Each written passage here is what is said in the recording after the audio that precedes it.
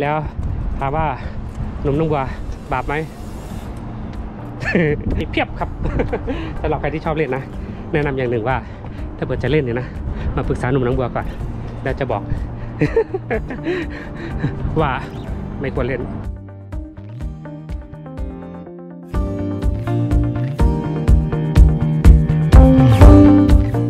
ปกติตรงนี้จะแบบคนพลุกพล่านมากเลยครับ แล้วก็ป้ายไฟตรงนี้จะสวยมาก เนี่ย เออเป็นป้ายไฟโหวิ่งนี่อลังการงานสร้างครับอะพาไปดู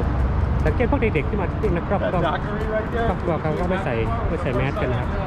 แต่คือถ้าบอกมันเป็นครอบครัวเขาก็คงไว้ใจกันนะครับเพราะว่ายังไงก็อยู่ด้วยกันทั้งวันทั้งคืนอยู่แล้วเป็นครอบครัว แต่ว่าสำหรับการที่จะไปใกล้ชิดกับคนอื่นเนี่ยก็คือการป้องกันใส่หน้ากากไว้เป็นดีที่สุดนะครับเอาละ ตรงนี้หนุ่มหนุ่มวัวอยากจะแนะนำตรงนี้นะครับอะหันมา ตัวเนี้ยของ Forum The Forum Shops นะครับอะให้ดูเนี่ย Forum Shops เนี่ยครับ ข้างในเนี่ยมันจะมีท้องฟ้าจำลองเหมือนกัน เป็นอันนี้เป็นแหล่งช้อปปิ้งของซีซ่าเลยใหญ่มากนะครับ ใส่เดินไกลมาก เดินเข้าประตูตรงนี้นะครับ เดินเข้าประตูนี้แล้วก็เดินขึ้นชั้น2พอไปชั้น2นะครับ ก็เดินวนครับ เดินวนเดินวน เดินวนรอบแล้วก็ไปลงบันไดเลื่อนครับ ด้านด้านขวามือ แล้วก็เดินยาวไปท้องฟ้าจำลองแล้วก็จำลองจากยุโรปมาเลยครับ อันนี้ก็เป็นแหล่งที่สวยพอสมควรเลยนะครับ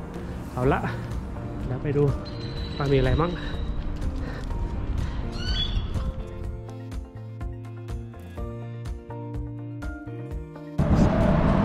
นะครับ มาถึงแล้ว หน้าซีซ่าซีซ่านี่ถือว่าเป็นคาสิโนที่ใหญ่มากนะครับไม่รู้มีเนี่ยคาสิโนนี่มีโรงแรมเนี่ยที่เป็นโรงแรมเฉพาะโรงแรมนี่สี่ห้าตึกครับเฉพาะในเฉพาะของคาสิโนซีซ่านะไม่ใช่ไม่ใช่ไม่ใช่ Caesars Group นะครับ แล้วข้างหน้าก็พื้นที่อลังการสำหรับคาสิโนนี่เป็นคาสิโนระดับนักเล่นระดับมือ big big ทั้งนั้นเลยนะครับมีซีซ่ามี MGM มี Aria นะครับ ที่ระดับ big ๆทั้งนั้นเลย แล้วก็คาสิโน Wynn พวกนี้เป็นคาสิโนที่แบบว่าโอ้โหนักเล่นนักการพนันทั้งหลายนี่มือเติบๆเอาเงินมาช่วยสร้างคาสิโนที่นี่เพียบครับสำหรับใครที่ชอบเล่นนะ แนะนำอย่างหนึ่งว่า ถ้าเกิดจะเล่นเนี่ยนะมาปรึกษาหนุ่มน้องบัวก่อนแล้วจะบอก ว่าไม่ควรเล่นเอาละ นนี้ก็อยู่หน้าซีซ่านะครับ จุดถ่ายรูปอีกจุดหนึ่งถ้าใครอยากไปจุดถ่ายรูปตรงนี้สวยครับอะแต่ละที่แต่ละที่เนี่ยเอออลังการงานสร้างทั้งนั้นเลยอ่าจุดเช็คอินจุดถ่ายรูปของคาสิโนซีซ่าพาเลสนะครับคาสิโนใหญ่นมนมบัวก็ทำงานในกลุ่มของคาสิโนนี่แหละนะแต่ว่าอยู่ตรงใจกลางลาสเวกัสเดี๋ยวจะพาเดินไปดูนะครับ ไปเลยคนนี้จะอยู่หน้าซีซ่านี่นะครับการมาถ่ายรูปมาดูสภาพตอนนี้จากซีซ่าปกติที่คนจะพลุกพล่านเยอะพอสมควรครับ เยอะมาก เยอะมากๆนะครับ ตอนนี้รู้สึกว่าเงียบเหงาแทบไม่มีอะไรกลายเป็นเมืองร้างเมืองลาสเวกัสจากเมืองที่เป็นแหล่งท่องเที่ยวอันดับต้นๆของอเมริกาเป็น Sin City ที่เขาเรียกว่า Sin City นะครับก็คือเมืองคนบาปนี่แหละแล้วถามว่าหนุ่มนุ่งกว่า บาปไหม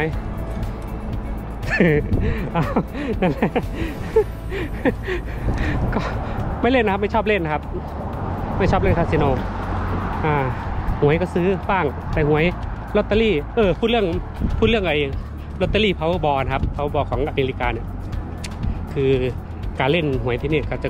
คล้ายๆว่าเขาจะทบยอดเงินไปเรื่อยๆนะครับ ก็คือว่าถ้าเผื่อสมมติว่า มันมันจะสตาร์ทที่ 20 ล้านเหรียญใช่ไหม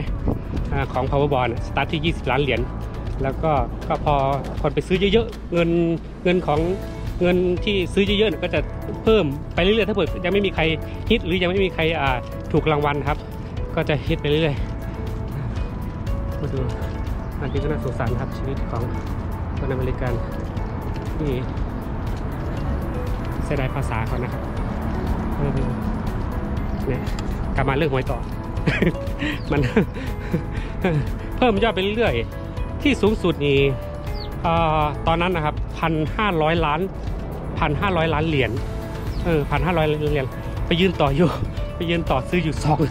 สามสามชั่วโมงครับ ตอนนั้นหนาวก็หนาวใกล้ปีใหม่นะหนาวมากไปยืนต่อคิวกับเพื่อนแล้วปากนี่ช้ำโอ้โอ้ช้ำหมดเลยเออซื้อกลับมาขับรถไปชั่วโมงครึ่ง เพราะเพราะที่ลาสเวกัสเนี่ยก็คือไม่มีหวยการพนันนะ เพราะว่ามันมีก็คืออาจจะในในอเมริการู้สึกว่าจะมีอยู่ 3 รัฐหรือสี่รัฐนี่แหละ ที่ไม่มีไม่มีหวยพนันนะครับ ไม่มีหวยไม่มีหวยที่ขายในรัฐเราต้องไปซื้อที่แคลิฟอร์เนีย หรือว่าไปซื้อที่อาริโซนาถึงจะได้ขับรถไป แต่ก็ดีครับ ขับรถเบื่อๆก็จุดลมชมวิวไปไปกลับมาอีกจุดหนึ่งครับ สวยๆครับ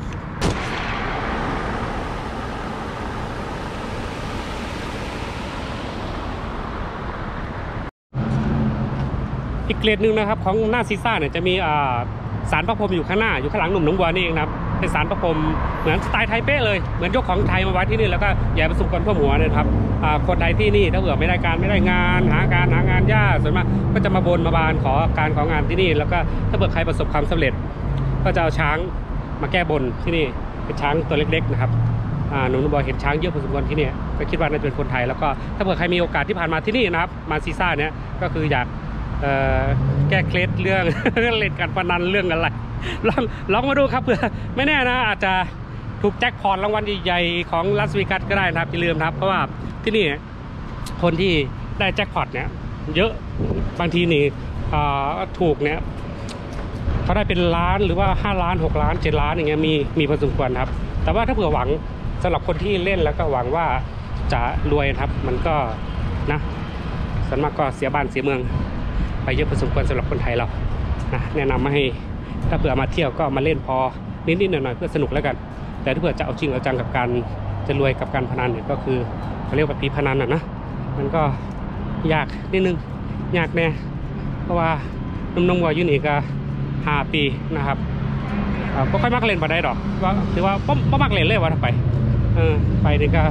ไปเบิ้งซื่ออนอกจากจากว่ามีมูมาอ่ามีมูมามาม มาเที่ยวมาเยี่ยมมายามสินะก็พาไปหยอดเลนนะต่ขันบ่ค่อยมักเล่นโต๊ะขันโต๊ะนี่ฮู้อยู่แล้วนะว่ามันสิ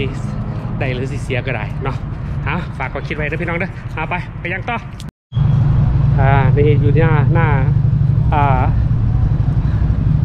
ซีซ่าพาเลตครับ ตอนนี้ปกติจะมีน้ำพุนะครับ แต่ตอนนี้รู้สึกว่าอ่าแห้งมันก็คงปล่อยน้ำทิ้งเนาะเพราะว่าเสียเงิน ค่าดูแลรักษาค่าอะไรเงี้ยมันก็เสียไปเยอะพอสมควร ถ้าเผื่ออยากจะมาถ่ายรูปจุดตัวนี้ก็คือว่าจะเป็นจุดชมวิว จากฝั่งด้านหลังนะครับสวยมากเดี๋ยวหนุ่มจะขึ้นรูปเป็นตัวอย่างให้ดูสวยถือว่าสวยนะครับแต่ก็คือในไฟแสงสีสวยมากนะครับมายืนอยู่ตรงนี้แล้วก็ถ่ายรูปข้างหลังมานะครับ สวย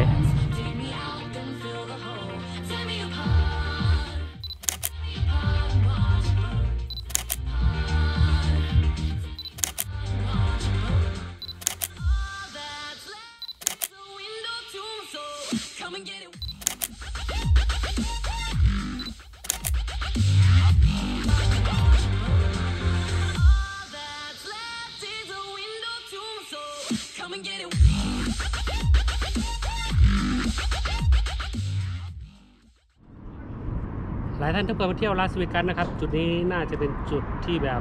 จุดยอดฮิตที่สุดของลาสเวกัสก็คือ Bellagio น้ำพุนะครับจะมีเวลาโชว์ ถ้าเกิดวันปกตินี่เริ่มตั้งแต่6อ่า6โมงเย็นนะครับ6โมงเย็นนี่จะมีทุก 30 นาทีวันปกติ แต่ถ้าเกิดวัน holiday หรือว่าวันเสาร์อาทิตย์นะครับวันเสาร์อาทิตย์ศุกร์เสาร์อาทิตย์เนี่ยจะทุก 25 นาทีตั้งแต่ 6 ตั้งแต่ 6 โมงเย็นเป็นต้นไปนะครับก็จะมีโดยสวยอลังการครับ จุดชมวิวที่ จุดชมพุที่สวยที่สุดก็คือตรงนี้แหละตรงใจตรงกลางนี่เอง แล้วก็อีกอย่างหนึ่งอีกที่หนึ่งก็คืออเดินเลียบนี้ไปเลยนะไปอยู่ฝั่งโน้นเลยครับแล้วก็จะเห็นอของคาสิโนปารีสนะครับก็มีไฟตกแต่งที่หอไอเฟลนะครับไอเฟลก็จะมีไฟกระพริบเหมือนธงชาติไทยเลยครับสีแดงสีน้ำเงินสีขาวนะครับสีขาวสีแดงสีน้ำเงินเนี่ยสวยมากครับ ถ้าเผื่อมาก็เลือกเลือกถ่ายรูปจุดถ่ายรูปให้ดีๆนะครับ ถ้าเผื่อเนี่ย จะเลือกเวลาที่ดีก็คือช่วงช่วงเนี้ยแสงแสงแสงพระอาทิตย์กำลังจะตกพอดีนะจะสวยมากนะครับท้องฟ้าเป็นสีแบบสีฟ้าเข้ม แล้วก็มีไฟตรงเบลาจิโอเนี่ยจะเป็นไฟสีทองที่สวย แล้วก็ถ่ายรูปจอกมาสวยมากนะครับ ถ้าเกิดมีโอกาสก็ขึ้นไปอ่าปารีสนะครับคาสิโนปารีสเนี่ยค่าขึ้นนี่อ่าไม่มั่นใจว่าน่าจะ 25 เหรียญนะครับ ตรงข้ามกันเลยนะจะขึ้นหอไอเฟลนะครับไปจุดสูงสุดเลยแล้วก็ถ่ายรูปลงมาเนี่ย ดี๋ยวจะขึ้นรูปให้ดูนะครับเนี่ยสวยขนาดนี้เลยครับเนี่ยท้องฟ้าสวย อันนี้เอามือถือใช้มือถือนะครับใช้มือถืออ่ารู้สึกว่าตอนนั้นจะใช้ iPhone iPhone ถ่ายเอานะครับ แล้วก็แต่งเสียงนิดหนึ่งก็ได้ภาพมาดังที่เห็นตอนนี้นะครับ เอานั่นแหละแล้วก็ เดี๋ยวจะพาไปจุดชมวิวที่หนึ่งครับ อันนี้เราเดินมาแค่ครึ่งทางนะครับ คือว่าจะอีกไกลนะครับไป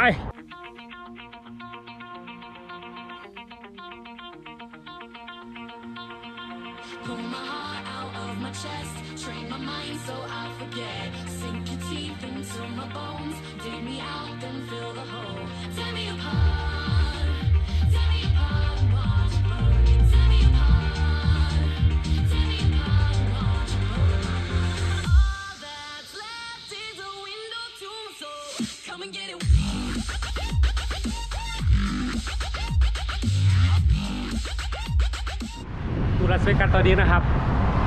เป็นเมืองที่ร้างไปแล้ว จากจุดที่ผู้คนแออัดเต็มณช่วงเวลานี้ของช่วงที่คาสิโนเปิดลาสเวกัสปิดยังไม่ปิด ผู้คนจะมาแน่นเบียดกันอยู่ตรงนี้เพราะว่ามารอดูน้ำพุหน้า Bellagio นี่เอาละครับเดินทางมาถึงจุดใจกลางลาสเวกัสแล้วนะครับ หนุ่มวัวพาชมสถานที่ต่างๆ เดี๋ยวจะมาแนะนำอีกหลายหลายเรื่องนะครับ แล้วก็รีวิวคาสิโนทุกคาสิโนว่าคาสิโนไหนสวยที่สุด แล้วก็น่าจุดถ่ายรูปได้ดีที่สุดนะครับ วันนี้หนุ่มวัวคงจบคลิปไว้แต่เพียงเท่านี้ กด subscribe แล้วก็ติดตามหนุ่มวัวไปเรื่อยๆนะครับ ขอบคุณมากครับผม